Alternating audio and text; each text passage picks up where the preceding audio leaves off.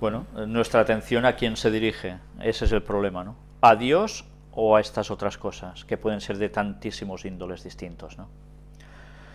Pues bien, sigamos. Daniel 9, versículo 2.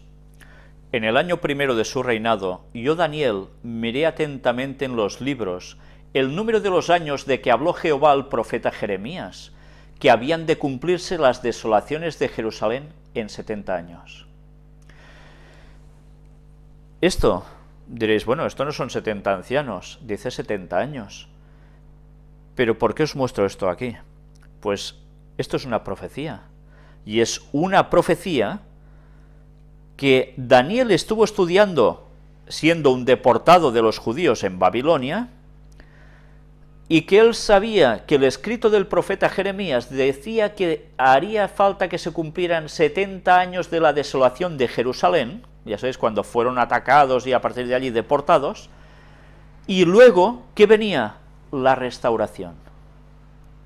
70 años. Dios no eligió 69, 71, eh, eligió 70.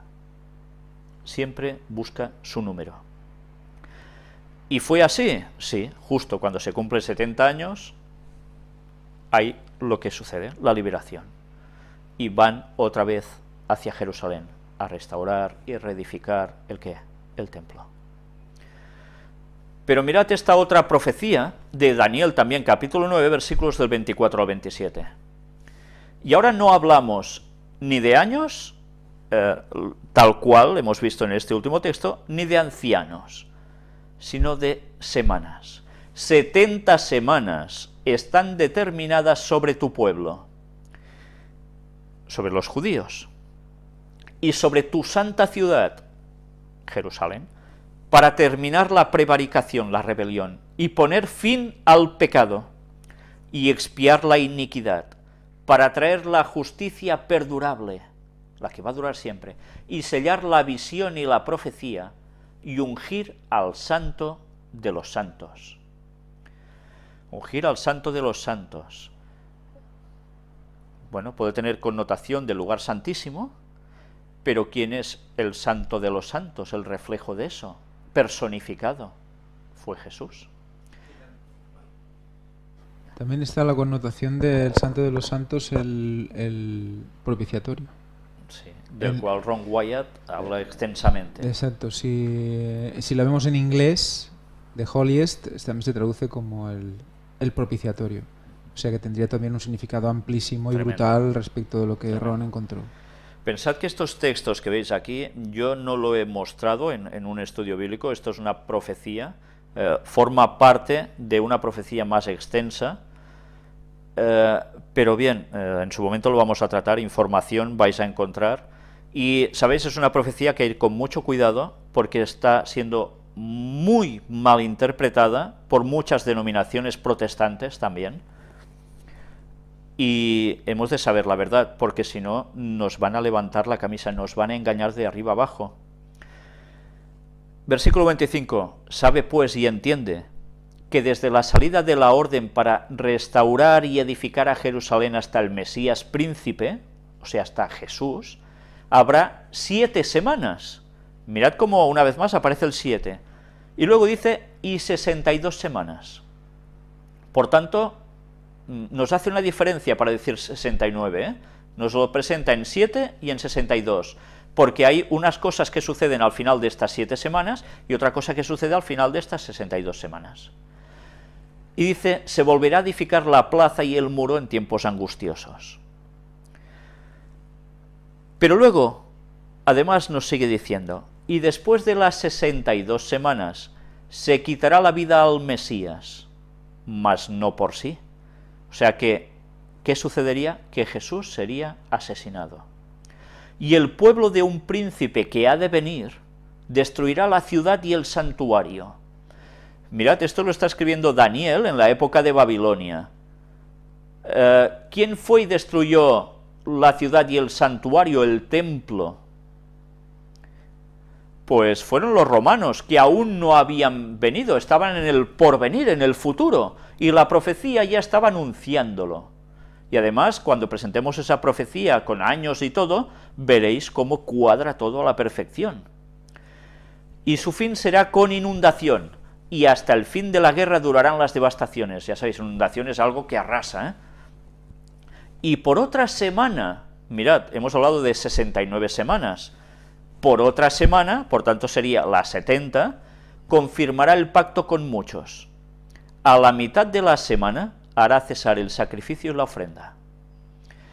Cuando leemos esto, mucha gente está diciendo, mm, va a haber un templo y durante una semana van a suceder una serie de cosas, pero a la mitad de la semana van a suceder otras. Y se hará cesar el sacrificio y la ofrenda. Bien, eh, todo esto ahora para hablarlo aquí nos llevaría mucho tiempo. Lo debemos tratar en su momento. Pero cuidado con según qué interpretaciones. Porque hacer cesar el sacrificio y la ofrenda significaba que Cristo, que Jesús, era crucificado, asesinado en un cierto momento de esa profecía, y se terminaban las ofrendas y los sacrificios, porque Jesús simbolizaba esos sacrificios que se hacían a diario durante toda la época mosaica y demás, hasta los tiempos de Jesús, y se cumple en él. Y esas ofrendas que se daban, también, por tanto, ¿qué sucedió en esos momentos cuando muere Jesús? Se rasga el velo en el templo, nadie ve nada, solo ven que se rasga el templo, el, velo del templo que separa el lugar santo del lugar santísimo. Con lo cual se indicaba por mano de Dios que se acabó allí hacer sacrificios y se acabó allí hacer ofrendas. Y ya no tenía más sentido el templo de Jerusalén. Porque Jesús en su cuerpo, en su templo, tal como él había anunciado, se había consumado absolutamente todo. Cuando murió dijo, consumado es.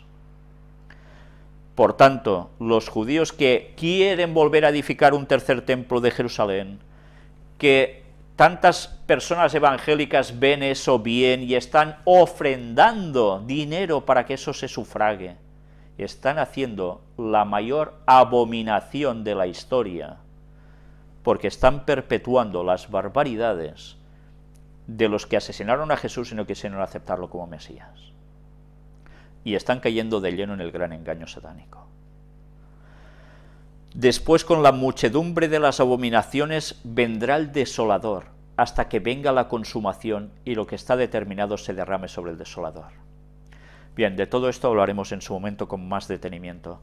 Pero cuidado porque hay, eh, no sé si estáis dándos cuenta, eh, cuando Daniel escribe esto, está hablando por semanas, y evidentemente la muerte de Jesús no ocurrió en 70 semanas ni nada parecido. Fue muchísimas semanas más allá de los tiempos de, Daniel. Daniel vivió en el año aproximadamente sobre los 600 antes de Cristo. Y Jesús ya sabéis cuándo, por tanto no podían ser semanas literales. ¿Las semanas de qué están compuestas? De días. Por tanto, una semana son siete días. Y bíblicamente en profecía, un día equivale a un año. Por tanto, ya podéis empezar a hacer cálculos de cuándo fue ese edicto para restaurar y edificar a Jerusalén, esa orden. Y cuando ya sabemos eso, que además veremos que no es solo una, sino que son tres en una, pues hubo un proceso de tres edictos distintos, cuando llega el tercero es desde el cual se parte a contar. Y cuando sabéis que eso es en el año 457 antes de Cristo, empezad a hacer numeritos y vais a ver cómo la profecía os, os habla por sí sola y que cuando Jesús es muerto sucede a mitad de una última semana. Tres años y medio y tres años y medio forman siete en total, una semana profética. La última, ¿cuántos años estuvo Jesús en su ministerio? Estuvo hasta los 30 haciendo de carpintero y tres años y medio en su ministerio público total. Tres años y medio justo después es sacrificado en la cruz. Pero claro, nos quedan tres años y medio más. ¿Qué sucede después de esos tres años y medio más? Pues es muerto Esteban, el diácono, y empieza la persecución total sobre los cristianos, que tienen que esparcirse. Pero luego la historia sigue. Y justo hasta allí es cuando terminan esas 70 semanas determinadas sobre el pueblo judío. A partir de allí el Evangelio es dado a los gentiles porque ellos lo han rechazado. Pero la historia va a seguir, y va a seguir a tal punto que tiene que haber un círculo que se cierra al final para volver hasta ellos, a darles el mensaje. Todo esto lo veremos cuando tratemos, si Dios quiere, el tema de los judíos en el tiempo del fin.